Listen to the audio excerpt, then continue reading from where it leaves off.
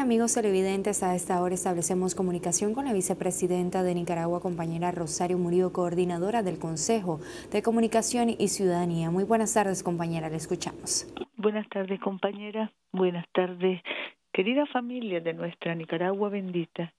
Esta patria que queremos cada vez más cristiana, cada vez más devota, cada vez más creyente y por eso potente, cada vez más solidaria amorosa y solidaria.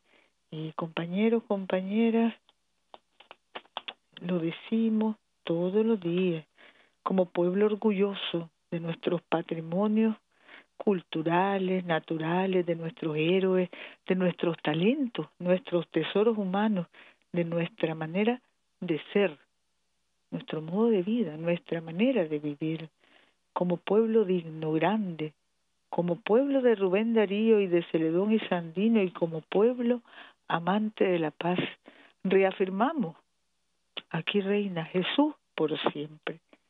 Y nos llamamos a seguir disfrutando de todo lo bueno que somos, todo lo bueno que tenemos, nuestra belleza, nuestra cultura local, a seguir cuidándonos, queriéndonos, protegiéndonos en familia, porque somos Nicaragua siempre bendita y siempre libre, porque tenemos esperanza, porque vivimos y avanzamos en insurrección de la esperanza, porque vamos adelante siempre victorioso, en patria de amor, de concordia, patria hermosa, todos juntos, con confianza en Dios nuestro Señor.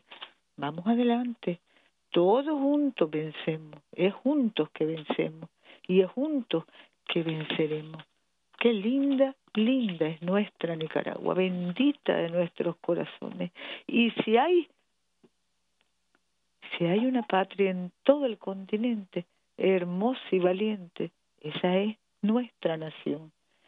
Este fin de semana una cantidad de actividades hay en todo el país protegiéndonos, cuidando la salud y la vida.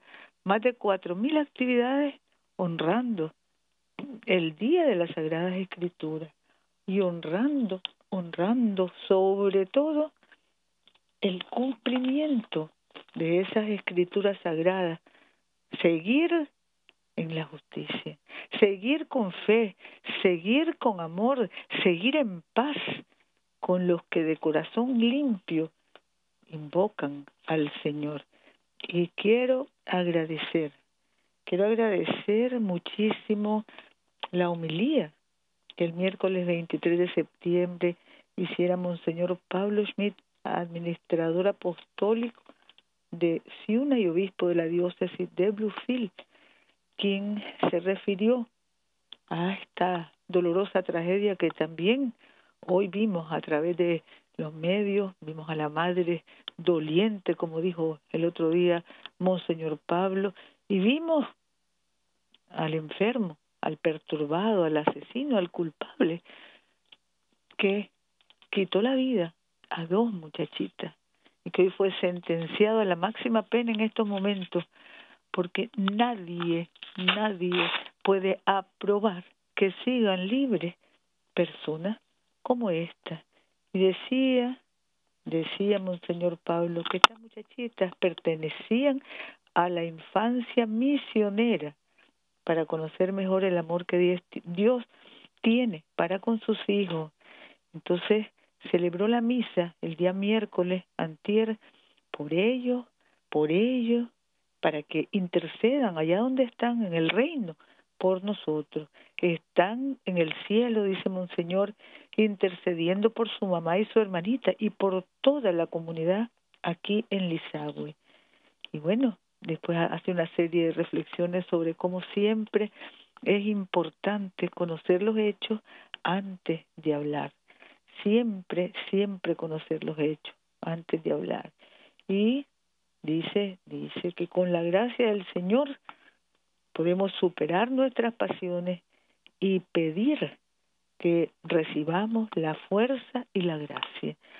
Importante, dice, darnos cuenta que hay que en una tragedia hay aprovechamiento también por razones políticas y que debemos dejar de politizar todo, dejar la política a un lado y vivir nuestra fe cristiana.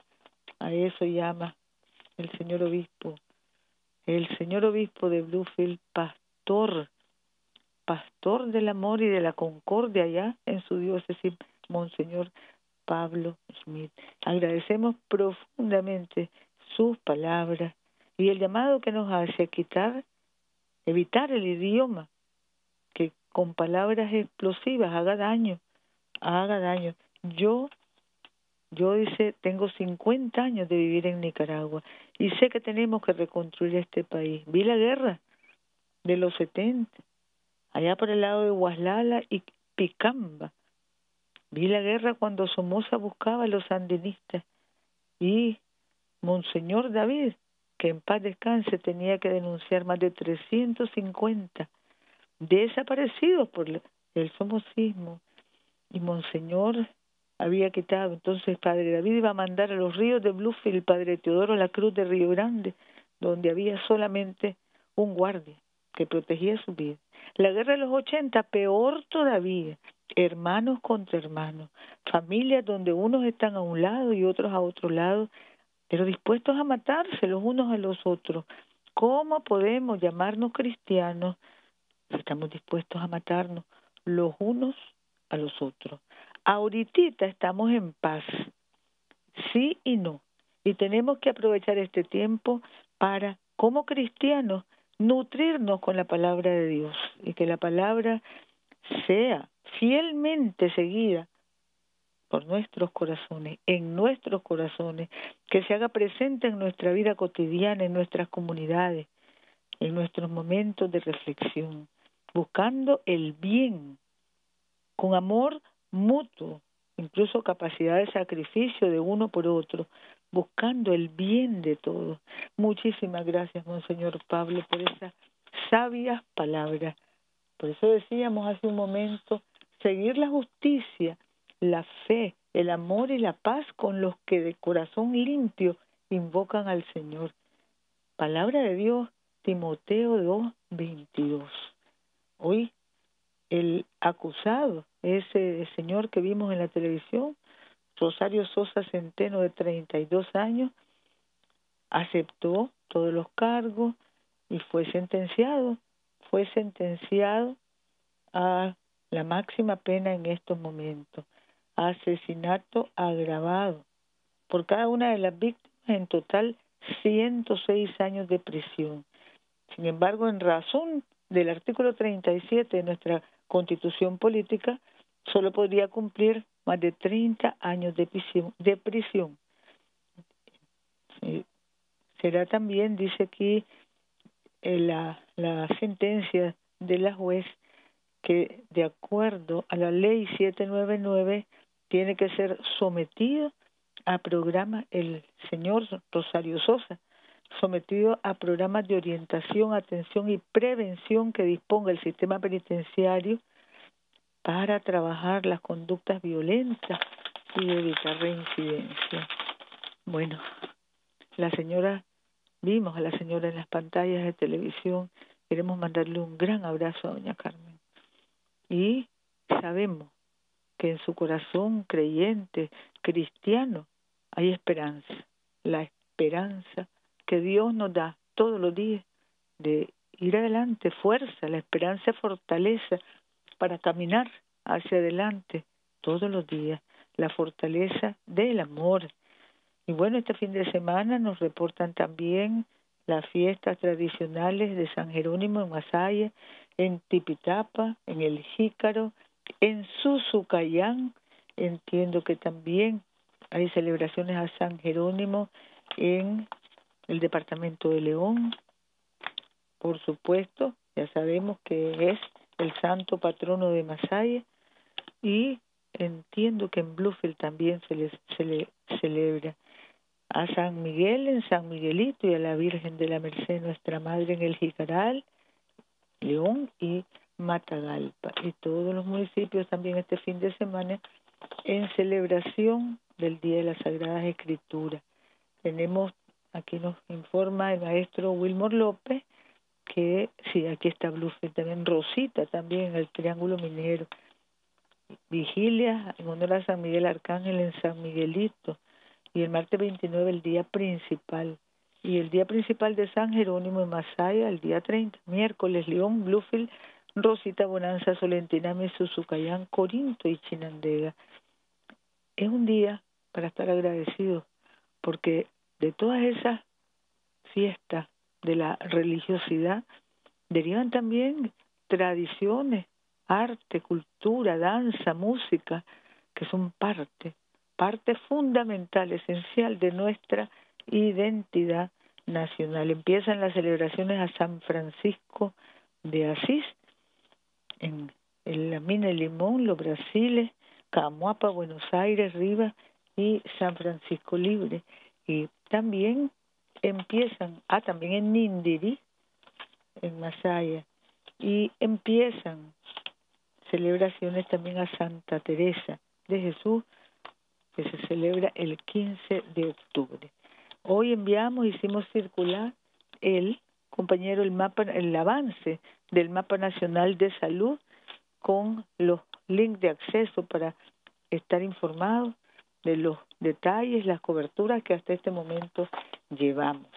Tenemos celebración del Día Mundial de Lucha contra la Rabia en León, Ticuantepe, Nandasmo y Bluefield desde el Ministerio de Salud. Y luego tenemos también jornadas especiales para el cuidado de los huesos en niños y adultos a través de consultas especializadas en Estelí, Somoto, Chinandega, La Trinidad y los distritos de Managua. Tenemos también el Día de la Piel Sana, exámenes dermatológicos, extracciones de lunares y nódulos benignos en distintos municipios del país. Y el Ministerio de Educación da inicio al proyecto de infraestructura en el Centro Educativo Modesto Armijo Lozano en el municipio de León, primera capital de la Revolución. Kit para promover salud que entrega y recibimos con mucho agradecimiento la UNICEF al Ministerio de Salud y teleclases que continúan este fin de semana para elevar nuestros aprendizajes y asegurar que este año, en medio de los desafíos y los retos, la mayoría de los alumnos pasen al siguiente curso. Tenemos también un encuentro muy bueno que se dio entre centros privados y subvencionados y el Ministerio de Educación con una asistencia de más de 1.200 personas de los equipos directivos de los centros educativos privados y subvencionados de todo el país. Se habló de este año, los desafíos que ha representado y cómo irlos superando para que los alumnos no pierdan, para que entre todos y por el bien de todos garanticemos un buen final de curso con máximo de asistencia y luego el próximo año con esperanza, con la fuerza de la esperanza. Bueno, decir también que tenemos una enorme cantidad de centros privados y subvencionados en clases presenciales que son las que recomiendan los organismos especializados en educación en todo el mundo. Se lanzó ayer el programa completo de la consejería, las consejerías de las comunidades educativas. Vamos trabajando, relanzando toda la atención para atender cualquier desarmonía en la conducta de los muchachos, muchachas, en los diferentes niveles de estudio y sobre todo también para detectar síntomas, señales de abusos, de abusos sexuales que se estén dando en algún lugar y que los muchachos presenten o las muchachas signos, señales que desde las comunidades educativas se pueden no solo detectar, sino atender y recomendar cómo se dé seguimiento con atención especializada desde el Ministerio de Educación, Ministerio de la Familia, etcétera. 14 nuevos servicios en línea para todo nuestro pueblo, para trámites académicos, trámites administrativos, desde INATEC. Son 28 ya los servicios en línea disponibles para quienes necesiten información sobre el trabajo del INATEC, los cursos que se ofrecen, etcétera. Y hemos mejorado el sistema eléctrico en centros técnicos de Jalapa, Huigalpa y Chinandega, inversión de 2 millones, mejorando las condiciones para clases prácticas de 2.700 estudiantes de los centros técnicos. Hoy cumple cinco años de fundación, la fundación, valga la redundancia, Encanto, dedicada a la formación, promoción y difusión del arte canto lírico en Nicaragua, trabajando mano a mano, trabajando con la juventud, trabajando con las orquestas y coros municipales y las orquestas y coros juveniles e infantiles, con el Teatro Rubén Darío, con el INIFOM, con el Instituto de Cultura. Queremos destacar este trabajo que se realiza fomentando el talento natural, fomentándolo, encauzándolo y cuánta, cuánta capacidad artística, reconociendo esa capacidad artística de las muchachas y los muchachos nicaragüenses. Tenemos también gala cultural conmemorando a los héroes del 56, coordinación con el Teatro Rubén Darío en la UNAM Managua, desde la Unión Nacional de Estudiantes, Cámara Tabaj, está y otros artistas nacionales. Lluvias en 66 municipios y más lluvias para la tarde con posibilidad de tormentas eléctricas. No hubo sismo en nuestro territorio nos preparamos para el 3 de octubre, el ejercicio nacional, tomando todas las medidas de protección y de precaución para proteger la vida frente a situaciones de emergencia, frente a todo tipo de amenazas. Hoy estuvimos en Santa Rosa del Peñón inaugurando la unidad de seguridad ciudadana de nuestra Policía Nacional con el nombre de nuestro compañero teniente Hilario Ortiz Zavala y el viernes 2 en San Rafael del Norte, departamento de Jinotega, para 23 mil habitantes estaremos ahí inaugurando otra unidad de seguridad ciudadana con el nombre del capitán José Luis Mesa Moreno. Son 4.100 actividades las que tenemos, una enorme cantidad de actividades religiosas, celebrando a los santos, celebrando la tradición religiosa y celebrando la Sagrada Biblia, Día de la Biblia, así lo conocemos nosotros, así lo hemos conocido y así lo celebra nuestro pueblo. Hay ferias gastronómicas, campesinas de la economía familiar, hay visitas a los productores, destinos turísticos, festivales, corridas de toro, hípicas, caminatas y fiestas tradicionales. Adelante con ese vigor, esa vitalidad que nos caracteriza y la responsabilidad que tenemos y que asumimos sobre nuestra salud. La viceministra de Gobernación estará en Cucragil y en el Rama, en visita de supervisión a bomberos y a todos los servicios de migración en esos municipios.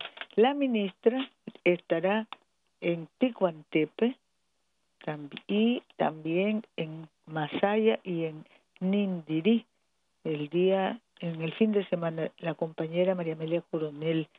Todo esto en coordinación con el INIFOM. Vamos a visitar, a reunirnos, a conversar, a saludar a productores, emprendedores, comerciantes y asegurarnos que todos nos sintamos parte de este sistema nacional de prevención y protección de la vida, en este caso a través de las estaciones de bomberos que se han inaugurado en todo el país, que ya estamos cerca de las 100 después de que solo había 36 cuando el pueblo llegó al gobierno en el 2006. El día sábado 10 de octubre yo me corrijo, pido disculpas por el error de ayer, es que se realizarán los actos regionales de ascenso en grado y con decoraciones en conmemoración del 41 aniversario de nuestro Ministerio de Gobernación.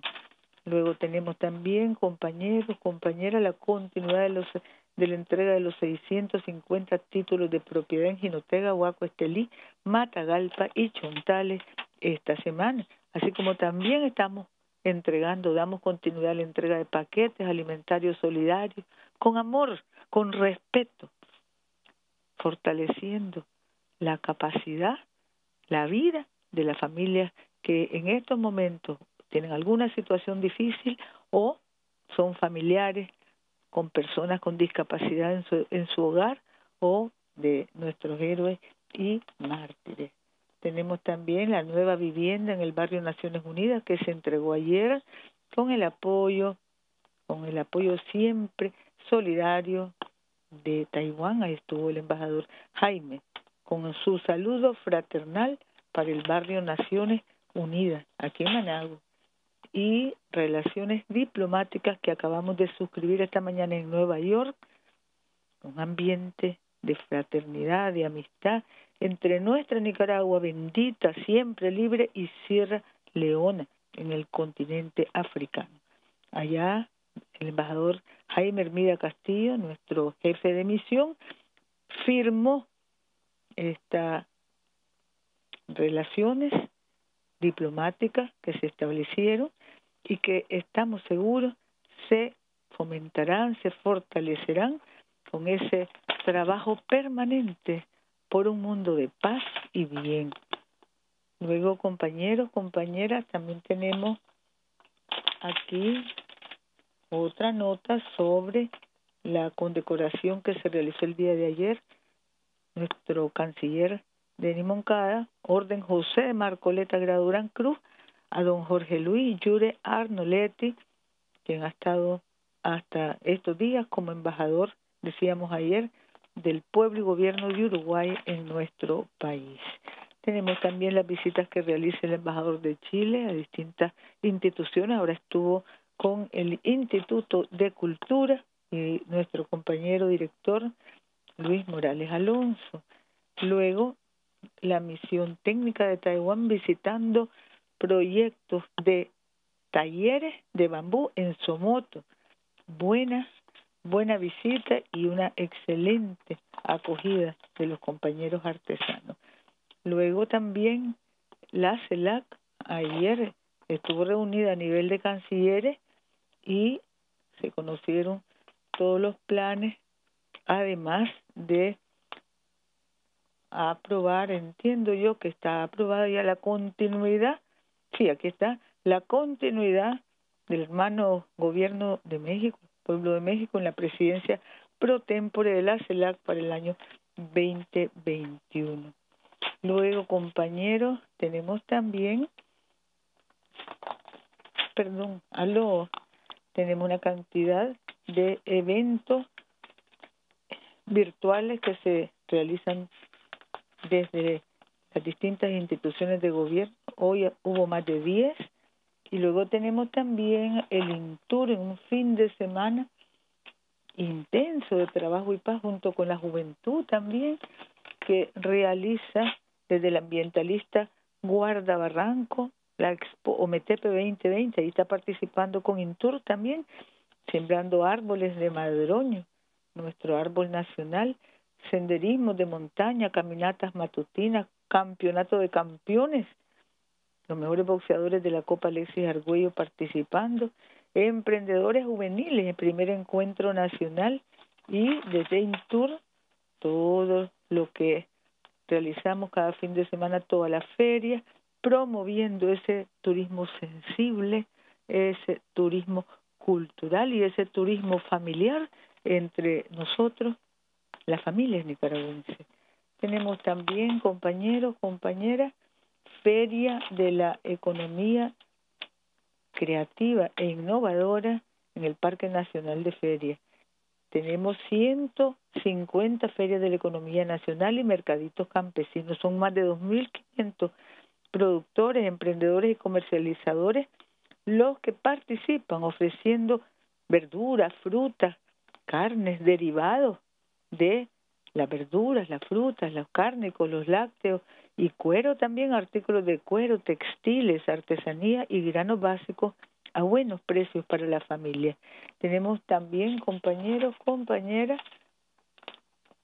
Feria del Mar este fin de semana, mañana, Plaza 22 de agosto, Impesca, bonos forestales que se entregan desde Impesca, no, perdón, desde el Instituto Nacional Forestal, INAFOR, Marena, hoy en la presidiendo la conferencia de ministros de Centroamérica, SECAL, junto al compañero viceministro Javier Gutiérrez Sumaya, nuestra ministra, presidente pro tempore de SECAL, presidenta, corrijo, y luego también el compañero Javier Gutiérrez participando como representante, él es viceministro y un experto reconocido. Luego firma en ACAL para la construcción del sistema de alcantarillado y planta de tratamiento de aguas residuales en Bluefield con el apoyo del Banco Centroamericano y nuestro gobierno, fondos de 31 millones de dólares es la inversión que se está haciendo con 52 kilómetros de tubería, alcantarillado sanitario, estaciones de bombeo, 13, 600, 700 manjoles, 698, 700 y construcción de planta de tratamiento de aguas residuales. En 24 meses esperamos estar entregando a la familia, siempre con esperanza y confianza en Dios de que nos, nos bendice, nos bendice o bendice nuestro trabajo con nueva victoria. Tenemos también compañeros, compañeras, Comunidad Monte Sinaí de Rosita, esto es en la región autónoma de la costa caribe, Triángulo Minero, 6 millones de inversión del Programa Nacional de Electrificación Sostenible y Energía Renovable. Allí 400 habitantes, hoy viernes 25, inauguraron la claridad, energía, la oscuridad se convierte en claridad con el amor de Dios. Y Comunidad Jícaro de la Trinidad, Departamento de Estelí, ahí estamos. Esto es mañana, mañana, sábado 26, un millón doscientos mil con inauguración para 65 habitantes en 25 hogares. En Condega, Estelí, inauguramos infraestructura productiva de procesamiento de café con el MEFCA en Jinotega, centro de acopio de cacao con áreas de procesamiento y transformación, 5 millones en Ginotega y 14 millones en Condega Estelí y cursos virtuales de cocina navideña, empezando ya a instalar desde ahora la producción agropecuaria, la producción artesanal, la producción de los alimentos propios de las mesas familiares de Navidad todo lo que nos llena de orgullo y todo lo que nos hace cada día reconocer más el gran poder de Dios, expresar nuestro agradecimiento viviendo y preparándonos para vivir navidades de concordia y buena voluntad como familias nicaragüenses. Y compañeros, compañeras, así estamos. Bienaventurados, bienaventurados agradecidos a Dios por todo lo que nos da, por todos los prodigios que derrama sobre nuestra Nicaragua. El prodigio de la paz es el principal, la paz y el cariño. Por eso decimos bienaventurados, porque fortalecemos paz, cariño, paz y bien todos los días. Y lo hacemos en el nombre poderoso de Jesús. Compañeros, compañeras, sabemos, sabemos que debemos seguir la justicia, la fe, el amor y la paz con los que de corazón limpio saben invocar al Señor. Que tengamos todos un buen fin de semana.